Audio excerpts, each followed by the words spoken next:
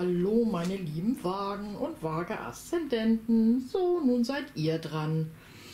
Ja, ich begrüße euch natürlich erstmal ganz, ganz herzlich. Schön, dass ihr wieder dabei seid. Da freue ich mich drüber. Alle Neuen unter euch natürlich auch. Ne? Vergesst nicht, den Kanal zu abonnieren. Wenn euch das gefällt, was ich hier tue. Und vor allen Dingen das kleine Glöckchen nicht zu drücken, damit ihr auch immer gleich Bescheid wisst, wenn da ein neues Video kommt. Ja, denkt bitte daran, das ist eine allgemeine Legung. Das kann und wird auch nicht unbedingt auf jeden zutreffen. Wenn es wirklich absolut nichts mit euch zu tun hat, lasst es einfach weiterziehen. Schaut sonst noch, noch mal in euren ähm, Aszendenten rein. Ja, ich bin ja jetzt mal gespannt, was sich da zeigt. Ich habe die Karten schon äh, vorgezogen für euch, damit das nachher auch nicht so lange dauert. Das heißt, wir können gleich loslegen. So, dann wollen wir mal gucken beim Seelenorakel, was sich da für euch zeigt. Da sind zwei Karten gefallen. Ich stehe jetzt auch immer hinter der Kamera, dann könnt ihr das Kartenbild nämlich besser überblicken. Bei euch, ja, bei meistens fällt nur eine, aber manchmal eben auch zwei. Gucken, dass ihr das so jetzt gut sehen könnt. Wir haben hier einmal den Pfeil und wir haben die wilde Frau. Hört sich ja erstmal ganz äh, urig an, oder? Aber also der Pfeil sagt eigentlich nur, ja, er spornt dich praktisch an, die Aufmerksamkeit zu erhöhen ähm, und bedeutet, dass du praktisch kurz davor bist, auf einem ganz bestimmten Gebiet in deinem Leben das Ziel zu erreichen. Ja, ähm, er steht auch für den Moment, in dem dir klar wird, dass deine Wünsche und deine Absichten, die du hast, ähm, die der Wind mit sich getragen hat, die du vielleicht irgendwann mal geäußert hast, ja, auf fruchtbaren Boden fallen. Und deine Aufgabe besteht jetzt einfach darin, dich zu entspannen, aber dennoch fokussiert zu bleiben, äh, mit auf die belohnend gerichteten Blick, sag ich mal, also mit auf, auf das Ziel gerichtet und eben auch darauf zu vertrauen, ja, und aber jetzt in den Flug des Pfeils, sag ich mal, nicht einzugreifen. Also das Universum für dich arbeiten zu lassen. Ne? Es ist jetzt nicht an der Zeit, da einzugreifen, sondern lass es mal auf dich zukommen. Ähm, das Universum ist schon dabei, auf Deutsch gesagt. Je nachdem, welches, ähm, welches Gebiet das natürlich bei dir, sag ich jetzt mal, betrifft. Ne? Und äh, die wilde Frau, ja, die habe ich sehr selten eigentlich, aber die ähm, erscheint eigentlich, ja, um dir eben zu sagen, dass du eingeladen bist, praktisch zu fühlen, hell zu leuchten und dir eben auch klar zu machen, dass dein wahres Selbst aufgerufen ist, sich in der Welt zu engagieren. Das heißt, etwas zu tun. Es ist auch ein Symbol dafür, dass ein lang gehegter Traum von dir Wurzeln schlagen und zum Ausdruck gebracht werden darf. Äh, du bist authentisch, passt in, also dieses, äh, dieses Selbst von dir, sag ich mal, das passt in keine Schublade rein. Ähm, du brauchst die Freiheit, auch leuchten zu dürfen, das auch zeigen zu dürfen. Und deswegen musst du jetzt auch den Mut fassen, sag ich mal, in dieses Licht zu treten, drücken wir es mal so aus. Denn die Frau gesagt, die wilde Frau sagt eben auch, leuchte hell, tanze voller Hingabe, sei ganz du selbst und lass den großen Geist entscheiden, was passiert. Und genau das sagt der Pfeil ja auch. Es, dein Weg ist bereitet, das Universum arbeitet mit Hochtouren daran, deinen Wunsch zu erfüllen. Ist das nicht toll? Da kriegt man ja eine Gänsehaut. Schauen wir mal weiter. Weisheitskarten der Seele. Da haben wir. Ich lege das mal hier so hin, ja. Da haben wir einmal den magischen Kantenwandler. Hört sich interessant an, ne? ja, also, der Karte, ja, werde auf Menschen aufmerksam, die in dein Leben treten. Von denen du jetzt aber vielleicht noch nichts weißt und die du vielleicht auch noch nicht kennst. Ähm, die werden dich auf deinem Entwicklungsprozess, auch was deine Wünsche angeht, sag ich mal, voranbringen. Vielleicht begegnest du dabei auch einer verwandten Seele, ne? die dich dazu animiert, äh, animiert, sag ich mal, dein bestes Selbst zu sein, also du selbst zu sein. Endlich mal wieder du selbst zu sein. So. Äh, oder auch einen Menschen, sag ich mal, aus einer schwierigen Lage heraushilfst, äh, an einen sicheren Ort geleitest oder auch eben zum Erfolg führt. Das heißt, es könnte dir da jemand begegnen. Also achte eben auch auf die Menschen, die deinen Weg kreuzen. Ja, und die dich, sag ich mal, ja, dazu veranlassen, über die Reise deines Lebens nachzudenken. Ne? Was willst du eigentlich wirklich? Sei wach und bewusst und du wirst ihnen die Mittler des Wandels erkennen, die sie sind. Und die Wahrnehmung von dir, was du bist und warum du hier bist, wird sich verändern. Das heißt, da wird auch ein, eine Wandlung stattfinden. Deswegen heißt er auch Kantenwandler. Ne? Verwandler, sag ich mal. Also enthüllt dir immer ein besseres Bild deiner selbst. Vielleicht auch von Ecken, die du vielleicht auch noch gar nicht kennst. Ne? Ja, und deine Führungsqualitäten einfach auch mal wieder zu zeigen. Ne? Denn das, die zweite Karte ist die Führungsqualität. Und du bist dazu aufgerufen, andere durch dein Beispiel zu führen. Äh, du hast in der zurückliegenden Zeit, sag ich mal, Weisheit, Weisheiten, viel Erfahrung gesammelt, drücken wir es mal so aus. Ich will es nicht mehr so schwulstig ausdrücken. Ja, und all die Erfahrungen, die du eben auch ge gemacht hast, ähm, die gewonnenen und auch verlorenen Schlachten, die Entdeckungen mit großen Tränen, das Glück, was du erfahren hast. Und die präsentieren, prädestinieren dich jetzt auch dazu, sag ich mal, dienlich zu sein und andere zu führen. Ja, deine Weisheit, deine Klugheit ähm, werden dich da hinführen. Vielleicht auch eine ja, Führungsposition oder so einzunehmen. Vielleicht wird dir auch sowas angetragen oder du spielst auch schon lange mit dem, mit dem Gedanken. Wichtig dabei ist immer, dass du in Liebe handeln sollst. Also nicht aus Egoismus, sondern weil es dir liegt, weil es dir Spaß macht. Ne? Und ähm, sie sagt eben auch, sieh auf die Menschen von Charakter und großen Verdiensten, die du bewunderst und eifere den von dir respektierten Leitfiguren nach. Dann wirst du selbst auch mehr zu geben haben. Ja, Mensch, das sind ja tolle Sachen, die hier bevorstehen. Das spricht alles eine Sprache hier, meine Lieben. Dann gucken wir mal, welches Krafttier habt ihr denn für den Februar?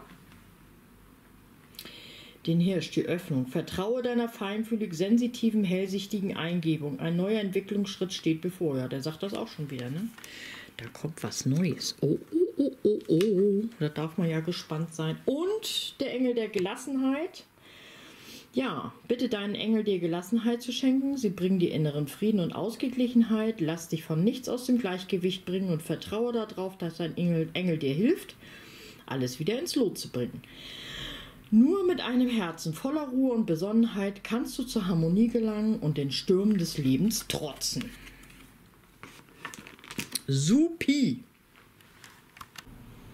Ja, so, dann wollen wir mal gucken, was bei euch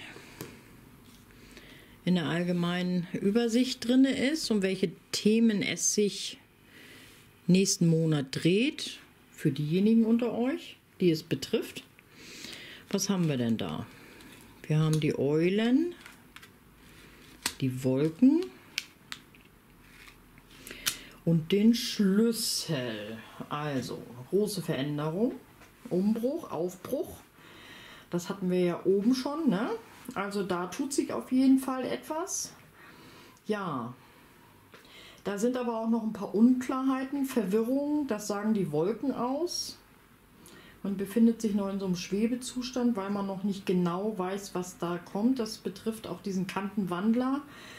Ähm, da sind natürlich noch ein paar Sachen zu meistern, drücken wir das mal so aus. Und der Schlüssel, ja, da sagt natürlich, man findet die Lösung, eine Bestätigung, wahrscheinlich, dass man auch vielleicht Klarheit bekommt. Ähm, hat auch was mit der Realität zu tun, also den Schlüssel zu finden, das Schloss zu öffnen mit Herz und Verstand daran zu gehen, ne? Verantwortung auch eben dafür zu übernehmen. Aber wir gucken mal, auf welche sich das praktisch bezieht. Wir gucken mal in den ersten Stapel rein. Was haben wir denn da? Da haben wir schmerzhafter Abschied, Trennung, seinen eigenen Weg gehen. Okay. Und da haben wir das Buch und das Buch spricht immer davon, ähm, ja, dass noch etwas verborgen ist. Ähm, Heimlichkeiten, Ungeahntes, dass da irgendetwas passiert, sag ich mal. Man muss erstmal noch seinen eigenen Weg finden, so kommt mir das hier. Das ist noch so ein paar Geheimnisse da, die wohl noch gelüftet werden wollen. Das hat hier wohl mit den Unklarheiten noch zu tun, wie der weitere Weg ist. Deswegen, ihr sollt nicht darauf ein, ja, ihr sollt das Universum machen lassen. Und hier haben wir dann noch äh, von den Secret Cards die langsamen Nachrichten. Das heißt, man hängt so in der Warteschleife, man möchte gerne was tun. Das Universum sagt aber, ähm, es ist schon dabei, ähm, die Dinge für dich zu regeln. Also du sollst erstmal, ja, abwarten. Drücken wir es mal so aus. Wir schauen mal weiter. Vielleicht ergibt sich das nachher noch. Dann haben wir hier, oh, guck mal, da haben wir schon mal die Sonne, das ist schon mal sehr gut. Dann haben wir hier wieder die Wolken, sich freuen, aber da sind noch Unklarheiten und dann eben Verwirklichung, Willensstärke. Da haben wir die gleiche Aussage. Da sind noch, ja, um, der, um die Sonne, sag ich mal, um die schöne Zeit sorglos zu sein. Da bedarf es noch etwas zu verwirklichen. Willensstärke eben auch zu zeigen, Unternehmergeist zu zeigen, also die Macherenergie. Ne? Dann haben wir hier den Ast der Kelche. Chance auf die große Liebe, beziehungsweise auch eben auf das Glücklichsein. Dann haben wir nochmal den Klee, die Umarmung und die Oregonik-Obelisken. Das ist die Kraftfällehebung der Schwingung. Die Umarmung ist so das Friedensangebot, die Emotionen, ähm, so eine seelische Nähe. Der Klee ist so ein kurzes Glück, sag ich mal, und das Ast der Kelche ist so das ja, volle aus dem Gefühl heraus. Ne? Also auch da schwankt ihr anscheinend noch so ein bisschen. Da sollt ihr eure Schwingungen heben, sag ich jetzt mal, das positiver zu sehen.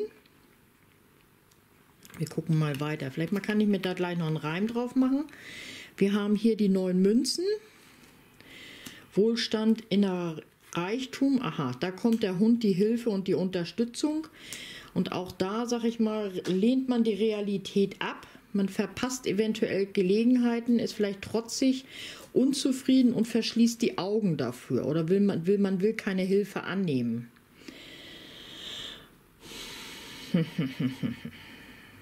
vielleicht von Freunden. Also irgendwo mit hat man hier noch ein Problem, den Schlüssel zu finden. Wir gucken mal auf den letzten Stapel. Das scheint hier alles um das Gleiche zu gehen. Hier haben wir das Offensein und andere willkommen heißen. Dann kommt hier wieder der Teufel und die Schlange. Und Engel der inneren Einkehr. Ja. Also, meine Lieben, ich glaube, das geht darum, und das sagt die letzte hier, auch eure Gedanken zu ordnen. Ihr sollt ja in den Flug nicht eingreifen. Ähm, vielleicht, ja, wie soll man das sagen? Mir kommt es hier so vor, ihr habt da schon eure Ziele gesteckt, habt aber momentan noch so ein bisschen, ihr seid mit irgendwas gehemmt oder ähm, Ihr braucht jetzt Willensstärke. Es müssen da noch ein paar Hürden genommen werden. Ne?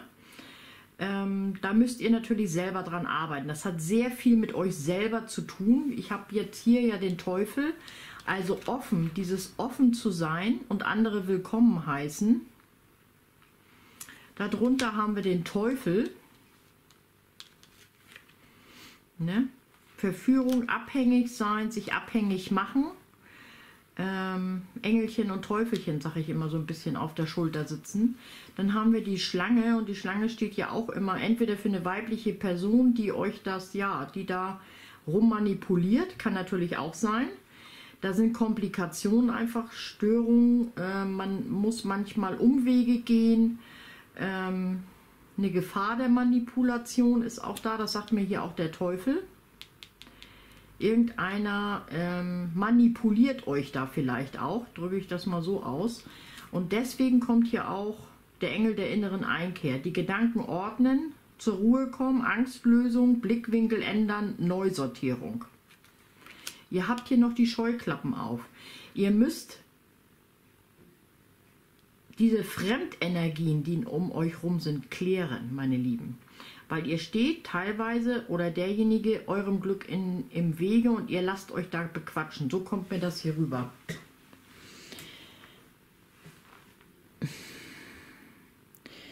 Ja, ihr müsst da erstmal Klärung reinkriegen. Und deswegen haben wir hier auch zweimal die Wolken. Weil hier oben haben wir das Ast der Kelche, die Sonne, das Glück. Ne? Dann hier, ihr müsst euch von etwas verabschieden. Und ich glaube, dazu gehört auch, eure Gedanken zu ordnen. Hier. Und ihr werdet da Hilfe bekommen. Da habt ihr momentan aber noch die Scheuklappen auf hier. Seht ihr das? Also das spricht Bände hier. Ich, ich muss es leider mal so sagen, mir kommt es so vor, als wenn ihr eurem eigenen Glück im Wege steht. Versucht mal, euch zurückzunehmen. Versucht mal, eine, einen Rundumblick zu machen. Oder schreibt euch das auf. So kommt mir das vor. Hier auch diese Hebung der Schwingung, positives Raumklima. Ne? Vor allen Dingen Klärung von Fremdenergien. Irgendeiner manipuliert euch da, habe ich das Gefühl. Weil wir haben hier den Teufel, wir haben hier eigentlich gute Karten und ihr sollt euch auch auf den Weg machen und ihr werdet da wahrscheinlich auch auf Menschen treffen, nur ihr müsst euch auch öffnen dafür, versteht ihr? Also es ist jetzt nur ein Hinweis von ihr. Ich will euch jetzt nicht kritisieren. Ich weiß ja, dass man manchmal in so ganz komischen, äh, ja, wie soll man das sagen, Situationen drinne steckt. Ne? Ich stecke ja nicht bei euch im Kopf drinne. Ich, ähm, ich hoffe, dass ich euch damit so einen kleinen Wink mit dem Zaunfall jetzt geben kann. Auf jeden Fall habe ich hier das Gefühl, dass euch hier oder dass ihr von irgendjemandem hintenrum manipuliert werdet. Es könnte auch sich um eine Frau handeln. Ähm und ich glaube, ihr müsst mal wieder zu euch selber finden. Es geht hier um euch selber und um euer Fortkommen. Und das Universum unterstützt euch dabei. Deswegen sollt ihr jetzt auch diese Passivität, also abwarten. Da wird was kommen, meine Lieben. So kommt mir das vor. Ähm oder ihr verschließt die Türen vor euch selber hier. Ich gucke jetzt nochmal, und das interessiert mich ja jetzt brennend, in euer ähm, Horoskop rein. Was haben wir denn da? Vielleicht löst sich das damit hier auch gleich. Meine, meistens passt es nämlich in irgendeiner Weise ein bisschen zusammen. Wir haben hier Beziehungsarbeit ist angesagt. Der Zusammenhalt ist gut. Anfangs ist es vielleicht ein wenig anstrengend, aber eure Bemühungen dürften Früchte tragen. Deshalb bleibt dran. Jetzt ist die Heilung von Beziehungsmustern möglich. Das kann natürlich auch damit was zu tun haben. Was haben wir denn hier in Karriere und Finanzen da? Irgendetwas? Nee, das kommt nachher erst ab März. Also mit Geld, glaube ich, hat das hier auch nichts zu tun, meine Lieben. Also mit Geld hat das hier nichts zu tun.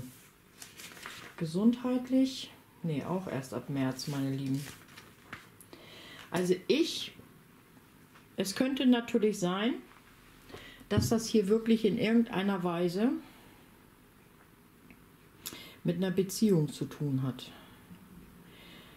Wo ihr jetzt momentan Wolken seht, wo ihr den Kopf in den Sand steckt, wo Stillstand einfach ist, weil ihr das Gefühl habt, da sind noch Geheimnisse. Ähm, ihr euch da aber jetzt langsam von verabschiedet. Also ein, ein Umbruch ist da definitiv. Da kommt eine große Veränderung rein bei euch. Das sagt ja hier auch. Das kann auch sein, dass jetzt hier echt in diese Geschichte das Universum eingreift ähm, und euch da hilft.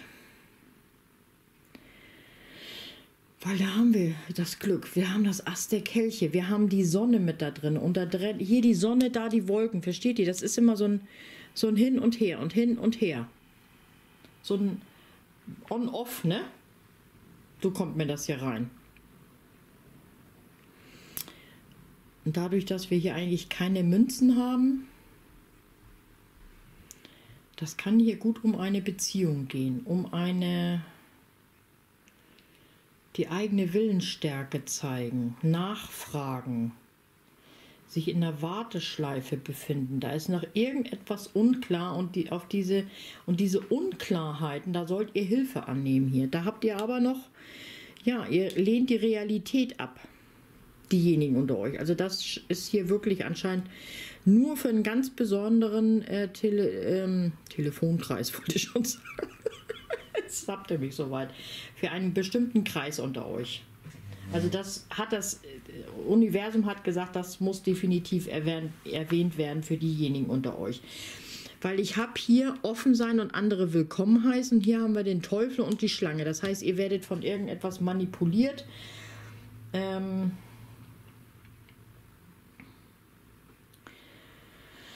Und ihr sollt, die Antwort darauf ist, ihr sollt eure Gedanken ordnen, zur Ruhe kommen, Angst lösen, sag ich mal, den Blickwinkel ändern und euch neu sortieren, um da den Durchblick zu kriegen.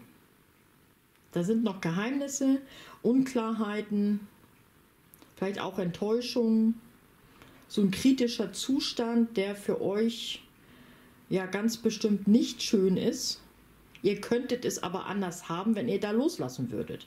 Aber da habt ihr momentan noch ein bisschen die Scheuklappen auf. So kommt mir das hier vor. Ihr ignoriert einfach ganz bestimmte Sachen. Und ich glaube, dass da jetzt das Universum eingreifen wird. Diese Geheimnisse hier, ne? Die da noch sind. Weil hier haben wir ja den Trennung, den eigenen Weg gehen euren Weg gehen. Ne? Und da haben wir die schöne Zeit, da haben wir die Chance auf Glück, da haben wir die Chance auf Wohlstand und dafür offen zu sein. Versteht ihr? Und das ist das, was ihr hier, ja. Ihr selber seht das aber noch gar nicht so. Ich drücke das jetzt mal so aus. Ich will das jetzt hier nicht negativ ausdrücken. Das kommt immer, man steckt manchmal in den, in den merkwürdigsten Lebensumständen drin. Ne? Also ich hoffe, dass ich euch damit einen Denkanstoß geben konnte, für diejenigen unter euch auf jeden Fall.